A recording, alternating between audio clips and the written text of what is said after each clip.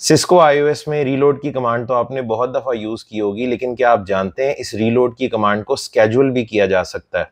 हम जब भी आईओएस अपग्रेड करते हैं, उसके बाद भी हमें रीलोड करना पड़ता है और बहुत सारी कॉन्फ़िगरेशंस भी ऐसी हैं जिनके बाद रीलोड करना ज़रूरी होता है। iOS अपग्रेड करने के बाद या कॉन्फ़िगरेशन चेंज करने के बाद एक लाइव नेटवर्क में हमारा जब जी चाहे, हम राउटर या स्विचेस को रीलोड नहीं करवा सकते। हमें अपने नेटवर्क में कोई ना कोई ऐसी विंडो तलाश करनी होती है जिसमें ट्रैफ़िक कम से कम हो और ऐसा अक्सर लेट नाइट या अर्ली मॉर्निंग होता है। तो कॉन्फ़िगरेशन चेंज करने के बाद या iOS अपग्रेड करने के बाद आपको रीलोड की कमांड देने के लिए इंतज़ार करने की ज़रूरत नहीं है, इसे आप स्केजुअल कर सकते हैं। इसका एक और भी फ़ायदा है, अगर आपने बहुत सारे डिवाइसेस को एक साथ रीलोड करवाना हो तो हम स्केजुअल करके एक साथ रीलोड भी करवा सकते हैं। ज़ाहिर है इसमें आपको टाइम जोन का ख्याल रखना पड़ेगा। तो चलें स्क्रीन पे इसका लैब डेमो देखते हैं। अच्छा फॉर एग्ज़ाम्पल यहाँ में इनेबल मोड में नॉर्मली तो हम रीलोड की कमांड इस तरह से लिख के एंटर कर देते हैं।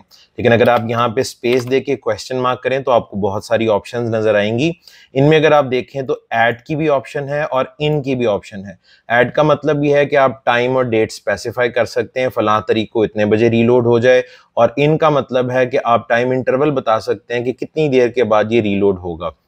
तो मैं यहाँ पर रीलोड के आगे चले एट लिख देता हूँ और एट के बाद क्वेश्चन मार्क करते हैं। तो ये फॉर्मेट है आवर्स और मिनट्स मुझे यहाँ पर बताने। तो इस वक्त जो टाइम हो रहा है वो छः बजकर अट्ठावन मिनट है, यानी कि एटीन फिफ्टी एट तो मैं इसको एटीन फिफ्टी नाइन कर देता हूँ। अच्छा इसके बाद आप क्वेश्चन मार्क करके मजीद ऑप्शंस भी देख सकते हैं।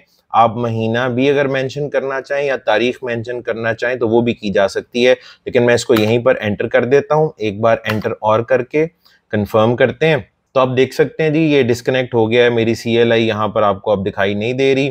थोड़ा आप वेट करेंगे, जैसे ही अब ये रीलोड होगा स्क्रीन वापस आ जाएगी। तो स्विच दोबारा से रीलोड हो चुका है। वीडियो पसंद आई हो तो लाइक एंड शेयर करना मत भूलिएगा और मेरे यूट्यूब चैनल आईपी ट्रेनर्स को सब्सक्राइब करना भी मत भूलिएगा। Thank you very much